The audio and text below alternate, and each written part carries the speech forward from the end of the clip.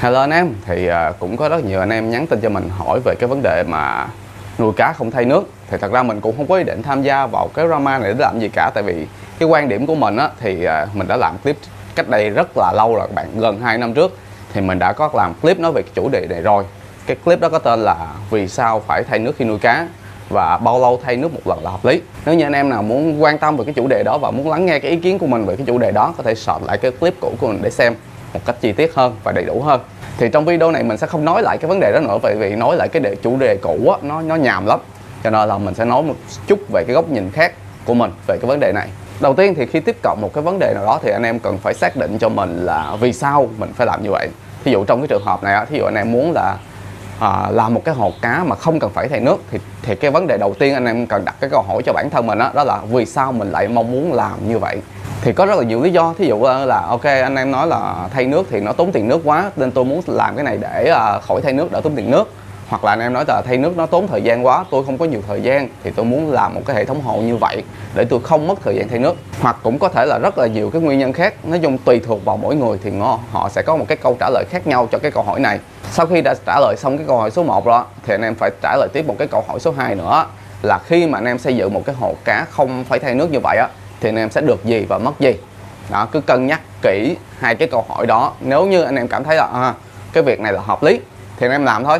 Còn nếu như anh em cảm thấy là không hợp lý chi phí nó quá nhiều lợi ích nó đem lại không bao nhiêu thì anh em không làm. Vậy thôi đơn giản. Còn đối với bản thân mình á nếu anh em hỏi là có nên làm một cái hồ cá không cần phải thay nước hay không á thì uh, mình sẽ trả lời là không. Đối với cái hệ thống hồ mà gọi là không cần phải thay nước đó theo mình á thì nó chỉ phù hợp đối với những anh em nào mà gọi là em yêu khoa học tức là thích nghiên cứu thích tìm tòi thích thử thách thích trải nghiệm. Anh em muốn chinh phục những cái giới hạn nào đó thí dụ à, cái hồ của người ta bị giới hạn là anh người ta không xử lý được nổ ba người ta phải thay nước. Bây giờ anh em muốn chinh phục cái cái thử thách chinh phục cái khó khăn đó bằng cách là mình nghiên cứu mình tìm tòi mình học hỏi làm sao đó để mình xử lý được nổ ba để cái hồ mình không phải thay nước. Nếu như anh em có cái sở thích và cái đam mê đó thì anh em cứ làm thôi. Tại vì đây là cái sở thích đam mê cho nên là cái chi phí bỏ ra bao nhiêu nó không quan trọng cả, cái lợi ích đem lại bao nhiêu nó cũng không phải vấn đề. Tại vì sao? Nó là đam mê, đó là sở thích của mình. Cái đó là cái lớn nhất. Chỉ cần mình đạt được cái đó thôi thì tất cả những cái khác nó không quan trọng. Thì ngoài cái lý do đó ra thì mình không tìm được một cái lý do nào khác mà khiến mình phải đi làm một cái dàn hồ mà không cần phải thay nước cả. Tại vì thay nước vẫn là một cách tối ưu nhất, tốt nhất dành cho cái đàn cá của mình. Không có cách nào mà gọi là tối ưu và tốt hơn đâu. Chắc chắn luôn.